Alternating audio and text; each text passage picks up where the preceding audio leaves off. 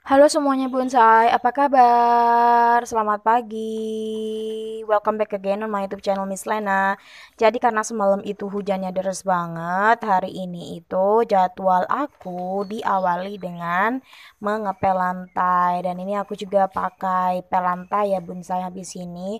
Habis aku bersihkan airnya dengan si karet ini, lanjut aku pel gitu ya kan.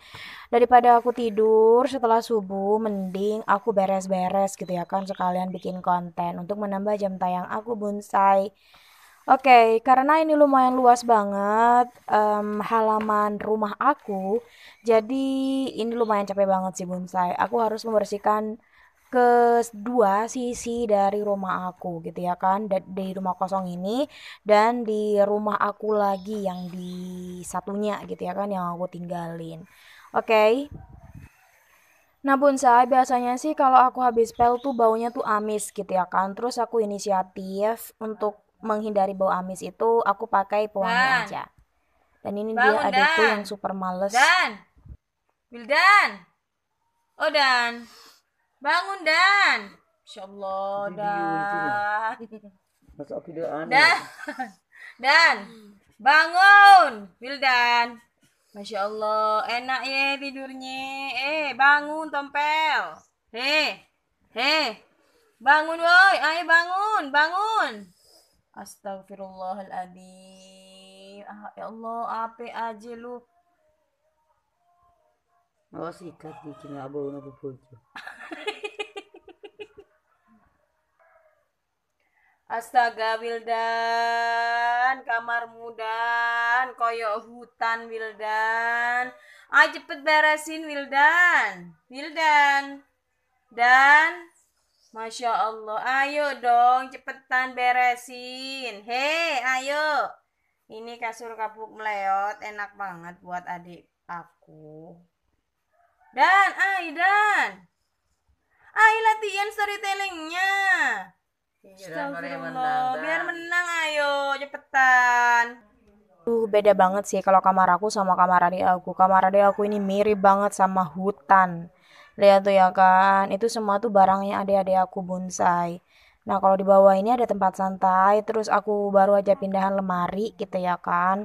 Jadi seperti ini kondisinya. Aduh bergelantungan di mana-mana buruan deh cepetan. Aku yang mau beresin ini. Okay, aku bilang gitu ke adikku udah beresin kamar adik aku gitu ya kan. Jadi buku-bukunya sudah aku tumpuk dengan rapi di sini. Jadi tinggal uh, ini tuh ini tuh adik aku tuh semuanya masya allah masya allah. Sekarang kita beralih ke si kasur kapuk meleot. Di sini adik aku tuh tidur di sini guys Oke, okay, jadi ini tuh mau diservis nanti kalau ada tukang kapuknya atau enggak kita beli yang baru dan isi dalam kapuknya tuh mau kita bikin uh bantal kapuk gitu ya kan. Oke, okay, ini kondisinya sekarang. Di sini ini ya kan kayak jurang, terus di sini tinggi. Terus ini kayak jurang. Terus di sini keluar semuanya tuh gak rata. Ini tuh permukaannya gak rata guys. Gak rata bonsai. Jadi susah banget untuk dirapiin. Mau dirapiin kayak gimana pun juga tetap like this. Oke. Okay. si kasur kapuk meleot comeback jadi cuma dibersihin kayak gini doang sih. Kayak ujung-ujungnya gitu. Masukin bentaran bentaran. Oke. Okay. oke udah beres. Ngeberesin kasur kapuk meleot jadi walaupun gak rapi gitu ya kan it's okay lah. Terus ibu aku juga udah baru pindahan lemari jadi lemarinya tuh guys dipindah posisi. Oke okay, semuanya udah beres. Lemari clear kulkas clear ruang makan tempat nasi clear eh, kasur bantal juga sudah clear. Terus ini tuh tikar biasanya kita pakai uh, untuk santai-santai gitu ya kan. Kasurnya gimana? Kasurnya sudah beres? Aduh alhamdulillah sudah rapi semuanya. Ini meja antik guys. Eh meja antik. Ini lemari antik. Aku dapat dari rumah kosong nenek aku itu. Terus ini juga. Ini juga lemari antik. Kalau ini enggak ini lemari modern oke? okay? Kulkas sudah, semuanya sudah. Ini kasur kapuk meleot. Tips buat kalian yang punya kasur kapuk meleot, jangan dibiarin kayak gini ya. Ini tuh nggak patut untuk ditiru.